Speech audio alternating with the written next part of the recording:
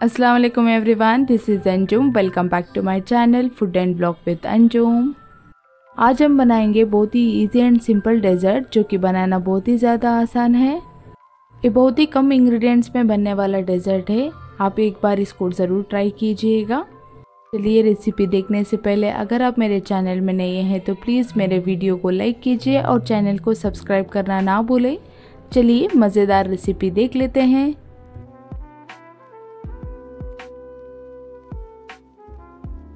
सबसे पहले मैं यहाँ पे एक आधा लीटर दूध ली हूँ। इसको अच्छे से गर्म होने के लिए रख दूँगी। और इसमें से थोड़ा दूध निकाल ली हूँ मैं। इसको बाद में यूज़ करूँगी मैं। निकाले हुए दूध में दो टेबलस्पून कॉर्नफ्लोर ऐड करके इसको अच्छे से मिक्स कर लेंगे। अब हमारा दूध थोड़ा सा गर्म हो चुका है। अब इसमें शामिल करेंगे दो एंड हाफ़ टेबल स्पून चीनी। आप आपके हिसाब से डालिएगा, कम या ज़्यादा। चलिए, चीनी पिघलने तक इसको अच्छे से मिक्स कर लेंगे। अब साथ में डालेंगे आधा टेबलस्पून इलायची पाउडर। इसे डालने से टेस्ट बहुत अच्छा आता है। और इसके साथ में डालेंगे केसर के धागे। इसको डालना बिल्कुल ऑप्शनल है। आप चाहे तो डाल सकते हैं स्किप भी कर सकते हैं। अब डालेंगे दूध और कॉर्नफ्लोर का मिक्सचर इसको अच्छे से मिक्स करके डालिएगा, क्योंकि नीचे सेटल होके रहता है इसलिए।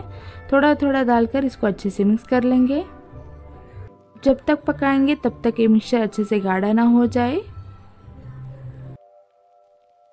अब हमारा मिक्सचर अच्छे से गाढ़ा हो रहा है, तब तक हम चाशनी की तैयारी कर लेंगे।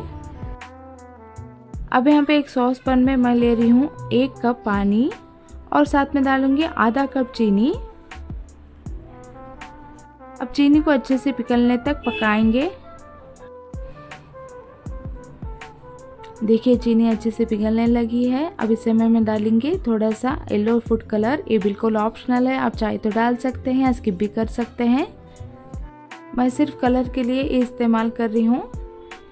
अब हमारी चीनी अच्छे से पिघल चुकी है और चाशनी भी अच्छे से पक चुका है। इसी समय में गैस का फ्लेम बंद कर देंगे। यहाँ पे हमारा दूध भी अच्छे से पक चुका है। देखिए, कोटिंग कंसिस्टेंसी में आ गया है।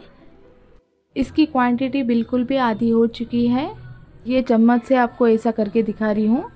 देखिए कोटिंग कंसिस्टेंसी वाला मिक्सचर बन के तैयार हो चुका है। अगर इस ऐसा लाइन डालूँ तो लाइन नहीं मिल रहा है। ये परफेक्ट टेक्सचर बना हुआ है हमारा।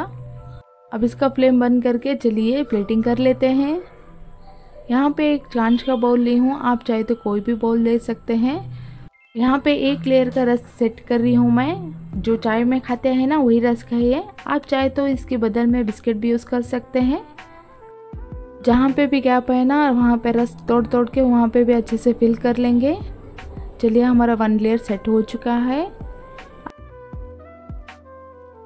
अब इसके ऊपर शुगर सिरप डालेंगे, जिसे हमें बनाया हुआ था। चलिए, अच्छे से डाल देंगे इसके ऊपर।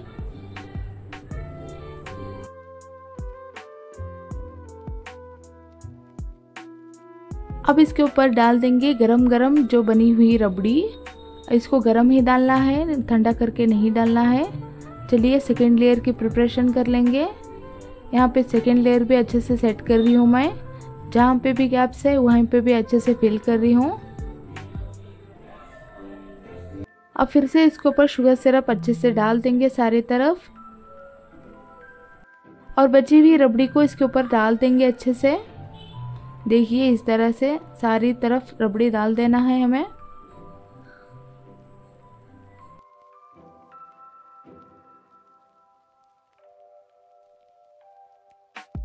देखिए इस तरह करके सारी रबड़ी डाल दी मैंने। कितना मस्त लग रहा है ना इक्वल यहाँ पे ग्लास जार भी अच्छे से फिल हो चुका है। जहाँ पे भी गैप्स है ना थोड़ा थोड़ा डाल के अच्छे से सेट कीजिएगा।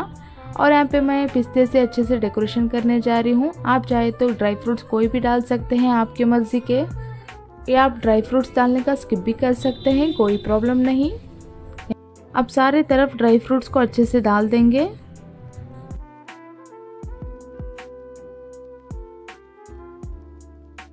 अब हमारा डेकोरेशन एंड सर्विंग प्रोसेस अच्छे से सेट हो चुका है। चलिए इसको एक या दो घंटे के लिए फ्रिज में रख देंगे ताकि अच्छे से सेट हो जाए। अब यहाँ दो घंटे हो चुके हैं। देखिए हमारा डेजर्ट कितना अच्छी तरीके से सेट हो चुका है ना। कितना मलाईदार, रबड़ीदार डेजर्ट बन के तैयार हो चुका है।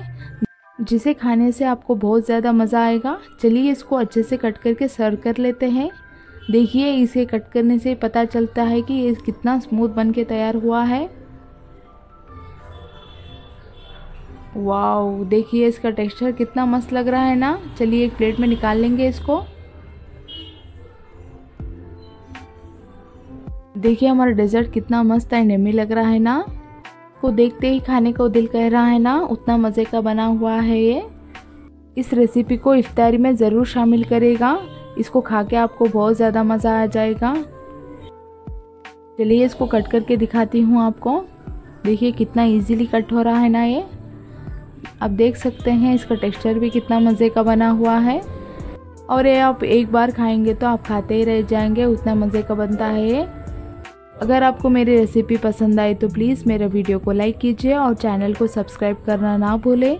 चलिए नेक्स्ट वीडियो में मिलते हैं नेक्स्ट रेसिपी के साथ। जब तक के लिए बाय अल्लाह हाफिज़ टेक केयर थैंक यू और मेरा वीडियो देखने के लिए बहुत बहुत शुक्रिया।